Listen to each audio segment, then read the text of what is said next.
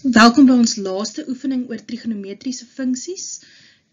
In hierdie video gaan ons spesifiek kyk na die interpretasie van grafieke as ook hoe om die vergelyking van 'n grafiek, 'n sin, kos of tan grafiek te bepaal. Voor ons egter daarmee eh, wegspring, kom ons hersien wat ons alles tot dusver geleer het. As ons terugdink aan graad 10 werk, het ons in graad 10 drie trigonometriese verhoudings na gekyk wat ons dan ook grafies voorgestel het. Die y is gelyk aan sin x, y is gelyk aan cos x en die y is gelyk aan tan x. Hierdie drie grafieke wat jy hier op die skerm sien, staan ook bekend as ons moederfunksies of ons moedergrafieke wat ook die oorspronklike funksies heet. Baie belangrik dat jy hierdie grafieke baie goed moet ken en die hele tyd in jou gedagte moet hou, want jy gebruik dit half as 'n gids, 'n bloudruk vir alles wat jy moet doen. Het sy of dit transformasies is wat moet plaasvind en of dit nou is wat ons in vandag se oefening gaan doen om 'n vergelyking van 'n grafiek te kry. Ons het ook gekyk na 'n klompie belangrike definisies. Die drie basiese vergelykings wat ons dan gebruik, waar ons dan nou elke keer die letters A, B, P en Q, die veranderlikes, gaan vervang met die um, bypassende waardes, sien jy dan nou hier op die skerm. So kom ons begin. Eerstens het ons gekyk na die periode, en ons gebruik die hoofletter P somme hiervoor. Nou die periode van een grafiek word altyd gemeet in grade. En hierdie periode is die lengte wat het neem vir een hele grafiek om voordat hy homself weer gaan herhaal. So met ander woorde die interval waarin precies een cyklus voltooi word. Die periode van 'n funksie, die hoofletter P, kry ons deur die standaard periode van van 'n grafiek te deel met wat ook al die B-waarde in die vergelyking is. Nou belangrik, as ons kyk na die B, onthou partye handboeke gebruik die letter K, kry ons 'n inkrimping as B groter as 1. Met ander woorde iets byvoorbeeld soos 2 of 3 ensovoorts en ons kry 'n uitsetting, met ander woorde hy rek bietjie uit as b tussen 0 en 1 is, met ander woorde dis 'n breukdeel wat ons vir 'n b-waarde het. Die amplitude het ons gesien is die uitwyking vanaf ons x-as of jy kan eintlik maar sê die middelpunt veral as daar 'n vertikale verplasing plaasgevind het. En die amplitude kry ons deur die helfte van jou maksimum y-waarde minus jou minimum y-waarde te bereken. Onthou A by die tan grafiek gee nie vir ons die amplitude nie, want die tan grafiek het nie 'n maksimum of 'n minimum waarde nie, maar dit wys vir ons wel hoe styl die grafiek is. En indien A 'n negatiewe waarde is, dan reflekteer die hele grafiek rondom die x-as. Vertikale verskywing, die letter Q, verskuif na bo as Q groter is as 0, met ander woorde positief, en na onder as Q kleiner is as 0, met ander woorde negatief. Die horizontale verskywing, die klein letter P, so onthou nou, dis die hoofletter P is 'n periode. So die klein letter P gee die horizontale verskywing en hy skuif na links as P groter is as 0, positief, en na regs as P kleiner is as 0, met ander woorde, negatief. Die definisieversameling is die versameling van al ons x-waardes en is gewoonlik ons definisieversameling wat beperk word wanneer ons met sketse werk. Die waardeversameling is ons versameling van al die y-waardes wat ons Vir die skets van triegfunksies het ons na 'n paar wenke gekyk. Eerstens, bepaal vir jouself die periode. Nou weer daai formule, periode is jou standaard periode gedeel deur wat ook al die b-waarde in jou vergelyking is. Onthou die standaardperiode van sin en kos grafieke is 360 grade en vir 'n tan grafiek is dit 180 grade. Daarna het jy die vier kritieke punte bereken. Onthou hierdie vier kritieke punte se waarde gee vir ons elke hoeveel grade moet daar iets spesifiek gebeur. Het sy 'n maksimum of 'n snypunt of 'n minimum of 'n asymptoot. Nou jy kry die kritieke punte deur jou periode wat jy nommer 1 uitgewerk het te deel met 4. Daarna het jy gaan kyk wat is die amplitude. Jy het gekyk of is daar 'n vertikale verskywing of selfs 'n horisontale verskywing. So belangrik weer met die skets van trigrafieke, gebruik daai moederfunksies as 'n bloudruk, 'n basis waarop jy dan die veranderinge vir jouself kan aanteken. Nou, by die werk wat ons vandag wil doen, want in meeste gevalle gaan daar vir jou een grafiek gegee word en daar gaan vir jou verwag word om die vergelijking van die grafiek te gee en een klompie vraag oor die grafiek te beantwoord. Nou kom ons staan vir een oomlik eerste stil by hoe kry ons die vergelijking van het Kom ons focus eerst op die sin en die kostgrafieke. Na die vorige oefeninge sal jy onthou dat ons een singrafiek ook baie makkelijk kan gaan skryf as een kostgrafiek dier dood eenvoudig net een singrafiek horizontaal te skuif. So jy gaan baie vinnig op een skets kan sien dat het het sy een sin, en, sin of een kostweergawe is en of het een tanweergawe is. So as dit een sin of een kostweergawe van een grafiek is, dan gaan jy die volgende doen. Jy moet eerstens jou twee standaard type vergelijkings in gedachte hou. Dan gaan bereken jy vir jou eerste die amplitude, die A-waarde. So jy kry die maximum Y-waarde op die skets, minus die minimum Y-waarde, en jy deel het met 2, en dan het jy jou A. Daarna gaan bereken jy die B-waarde. Jy gaan baie makkelijk op die skets kan sien, wat is die periode van die skets. Met ander woorde, jy gaan reeds die P kan sien. En jy weet, vir een sin en een kostgrafiek is die standaardperiode 360 grade. So jy gaan hierdie vergelijking gaan herskryf, so dat ons die B kan gaan uitwerk. So B gaan dan wees jou standaardperiode 360 grade, gedeel dier wat ook al die periode op jou skets is. Hierna gaan jy kyk of is daar een vertikale verskuiving, met ander woorde een op- of een afbeweging, En laastens gaan jy kyk of is daar een horizontale verskuiving na links of na rechts. Kom ons kyk na een voorbeeld. Hier word een skets vir ons gegee. So die eerste vraag wat ons vir ons self gaan vraag, wat is die amplitude? So ek sien my maximum y-waarde is 1 en my minimum y-waarde is min 3. So 1 minus minus 3 geef vir my positief 4, wat ons nou gaan deel met 2, en dan kry ons die antwoord is 2, wat beteken my amplitude is 2. So jy sal sien, hulle was baie gaaf gewees, op hierdie skets het hulle vir ons een stippellijnkie ingesit, om te wys waar is die middelpunt van hierdie grafiek. So jy sal sien, boek aan die stippellijn is daar 2 eenhede, en onder die stippellijn is daar 2 eenhede. Volgende vraag is die periode. Nou hier kan ons sien, dat een volle cyklus word voltooi vanaf minus 90 grade tot en met 270 grade. So die afstand tussen die twee punte is dan 360 gedeeld dier 270 minus minus 90, wat dan vir my ook die 360 gee, so met ander woorde, ons B-waarde is 1. Hierna vraag jy vir jouself, of is daar een kie, met ander woorde, is daar een vertikale verplasing. Nou, as ons nou na die middelpunt van die skets kyk, nou die middelpunt hierso is specifiek die stippellijn wat hulle vir ons hierso gee. Nou, die stippellijn kan jy nou lekker gebruik om te sien, maar as jy dit vergelijk met jou x-as, dan sien ons, hy het een eenheid afgeskuif van waar my oorspronkelike x-as was.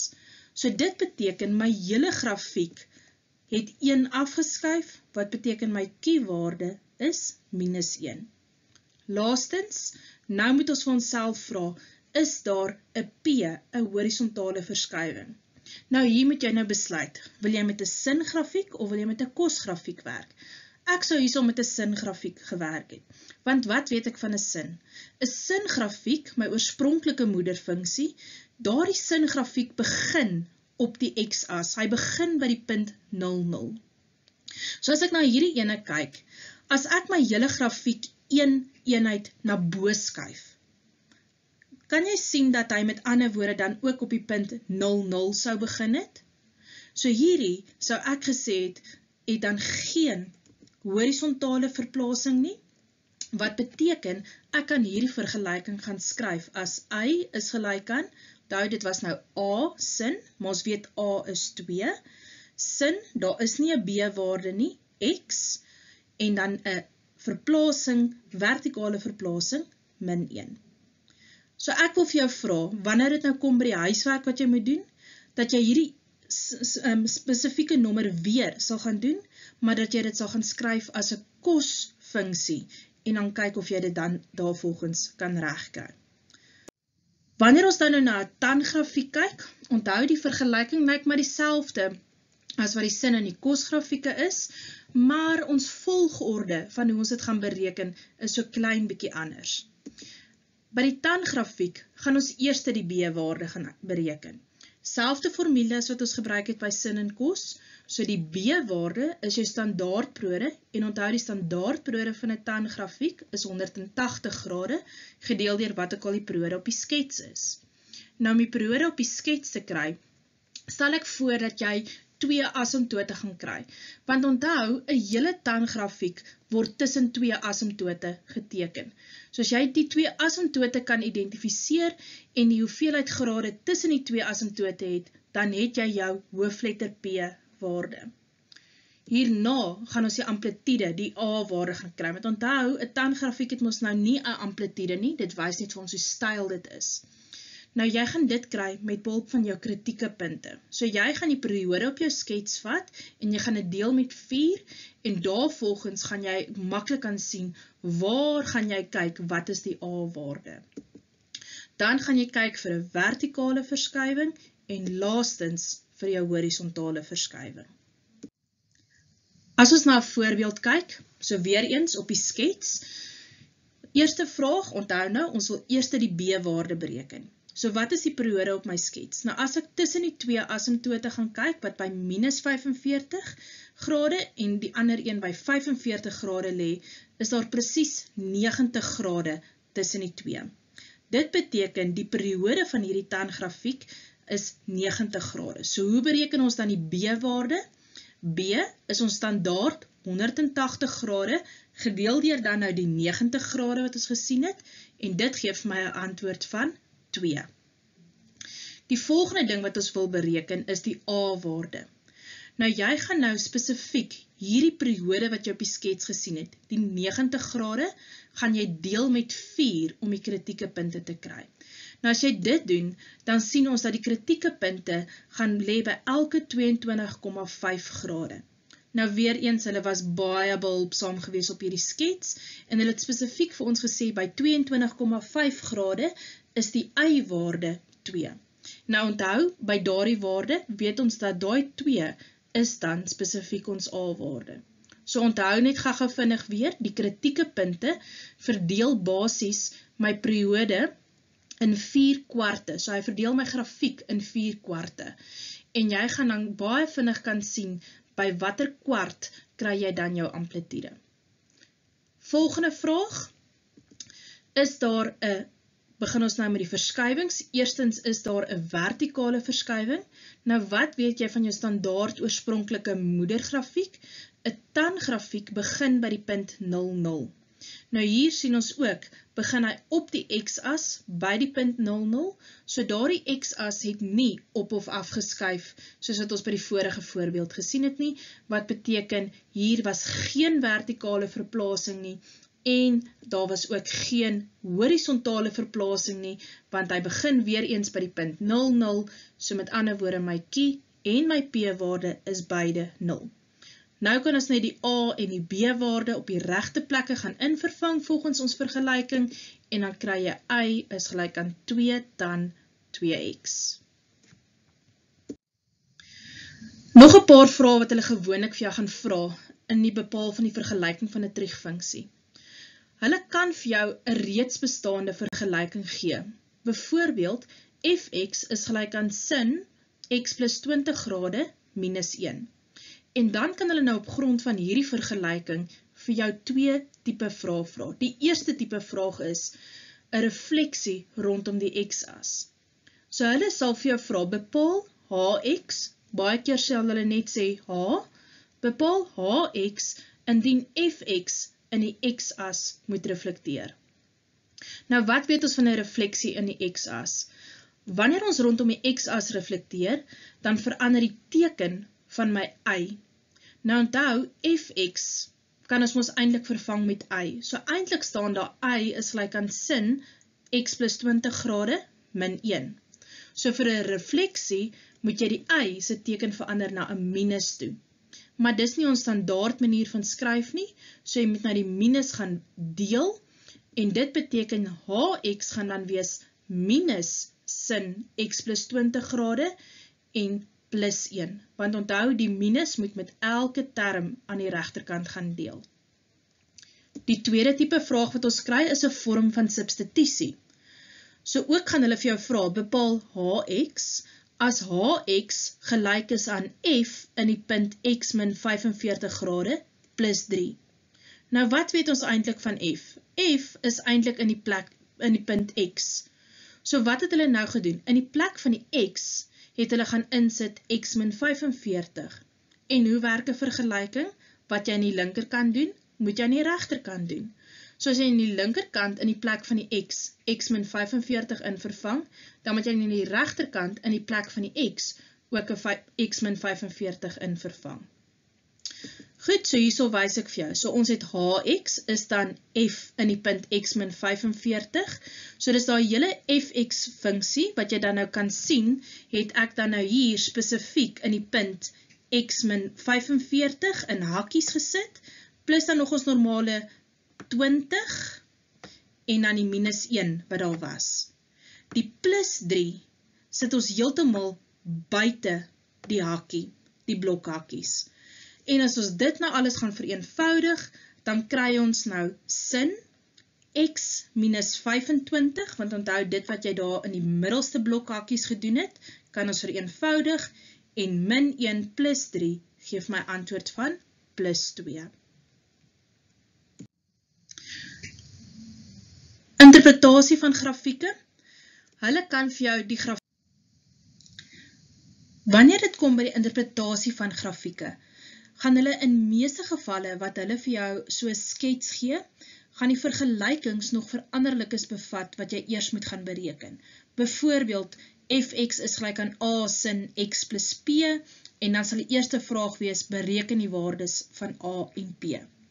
Maar vir hierdie voorbeeld gee ek vir jou die twee vergelykings van die skets en ek sê ook spesifiek dat die beperking is, met ander woorde x kan slechts geteken word in die interval minus 30 grade tot en met 180 grade.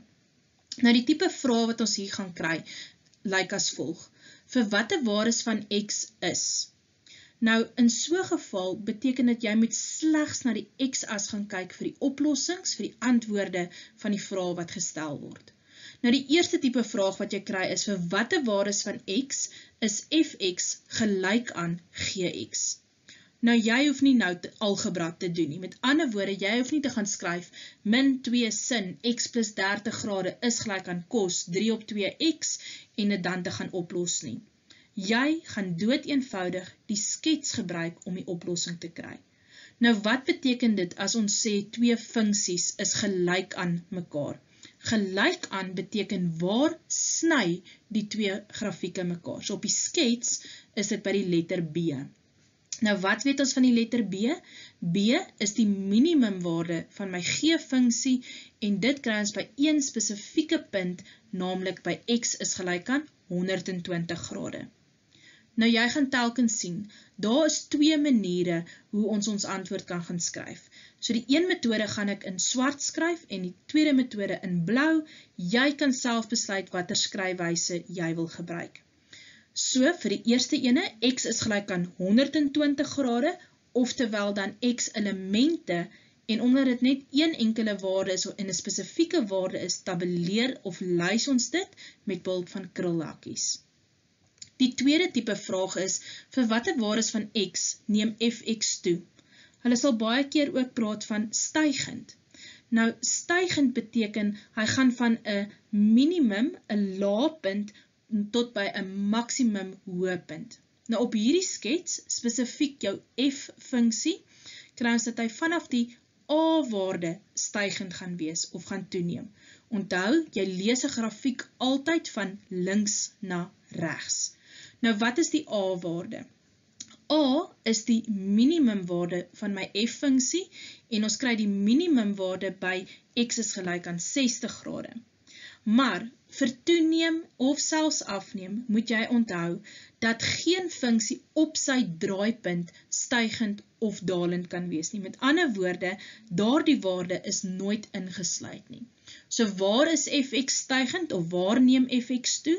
Hy neem vanaf x groter as 60 grade, neem hy toe tot by die punt 180 grade. x kleiner gelijk aan 180 grade. En onthou, omdat ons nou net na die skets kyk, is die 180 grade wel ingesluid. So die intervalnotasie skrywijse, x elemente ronde hakkie, wat beteken die waarde is nie ingesluid nie, 60 grade, komma punt, 180 grade blokhakkie, wat beteken die waarde is ingesluid. Die volgende vraag, vir wat die waardes van x is gx gelijk aan 0. Nou onthou gx kan jy eindelijk vervang met een y, so vir wat die waardes van x is y gelijk aan 0. Nou y gelijk aan 0 is ons x-as se vergelijking. So op ons x-as, as jy kyk na die g-funksie, waar is my g-funksie ooralster op die x-as? En ons sien daar is twee punte waar dit gebeur. Die twee punte sien ons die een punt is by die A-waarde en die tweede punt is dan daar by 180 grade en die A-waarde het ons dan nou reeds gesien is 60 grade. So hy is by x is gelijk aan 60 grade of by x gelijk aan 180 grade sal hy gelijk wees aan 0. Skrywijse, onder die twee specifieke waardes is wat ons nou wil lys, maak ons weer gebruik van die krulhakies, x elemente 60 grade komma punt 180 grade krullakkie. So dis nie vanaf 60 grade tot by 180 nie, dis net 60 of 180. Vir wat die waardes van x is fx groter as gx? Hierdie vraag kan andersom ook gevra word. Vir wat die waardes is fx kleiner as gx? Nou, groter as beteken waar is f groter as g? groter, waar is f bo g? As het kleiner as was, waar sou f onder g gewees het? So vir fx groter as g, sien ons daar slechts een plek op ons skets, waar my f funksie bokant my g funksie is, en is vanaf die punt b. Nou wat is die punt b? Onthou ons het het by nummer 1 al gehad, dit is die waarde 120 grade, so hy is vanaf 120, onthou, dis net groter as, nie groter gelijk aan nie, so vanaf 120 grade tot by 180 grade wat ingesluid is. Vir die volgende vraag, daar is weer eens twee maniere hoe dit gevra kan word en dan gaan na al twee maniere kyk. So die vraag wat hier gevra word is, waar is fx maal gx groter as 0? Nou onthou, groter as 0 beteken positief. In beide f en g kan ons eindelijk een y vervang. So eindelijk vraag hulle hier, waar is y groter as 0?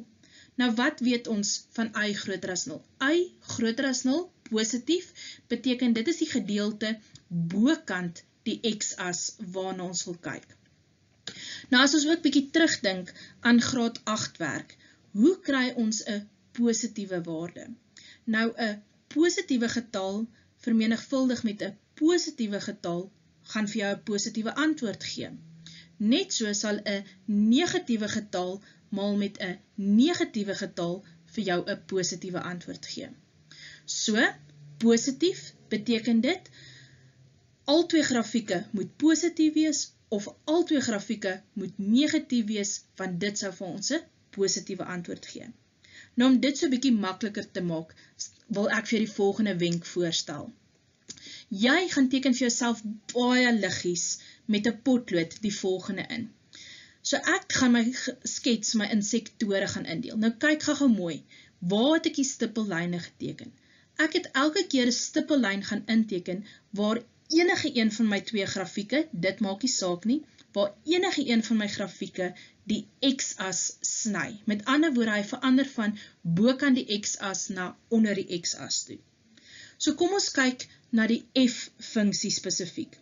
Nou in die eerste sektor, met ander woorde vanaf minus 30 tot by die a-waarde, sien ek dat my f-funksie is negatief, hy is onder die x-as. Vir die middelste sektor is hy nog steeds onder die x-as en dan vir die laaste sektor is hy nou bokant die x-as. So ons sien hy is minus minus plus. My g-funksie daarteenoor is in die eerste sektor positief, in die middelste sektor negatief en in die laaste sektor ook negatief. So, f maal g positief, so waar is al twee positief of waar is al twee negatief en hierso sien ons dis slegs in die middelste gedeelte wat ons sien dat beide dieselfde teken het. So hoe skryf ons die antwoord? Dis die interval x groter as 60, want onthou die oplossing net wees groter as 0, nie gelyk aan nie. Groter as 0, so hy is groter as 60 en kleiner as 150. Die volgende vraag, waar is fx maal gx kleiner of gelijk aan 0, so vir een negatieve antwoord weet ons dat die tekens moet verskil en dit gaan dan natuurlijk die eerste en die laaste sektor wees. En dan sien ons dit gaan wees vir x is gelijk aan minus 30 grade tot by 60 grade en dan weer van 150 grade tot by 180 grade. Ek glo jy is nou gereed om jou huiswerk te doen. So jy moet nou al jou kennis wat jy nou ingesamel het oor die afgelope paar oefeninge, moet jy nou hier inspan, sterkte, kophou, onthou al jou reels en jou um, definities en pas alles nou mooi rustig toe. Lekker werk!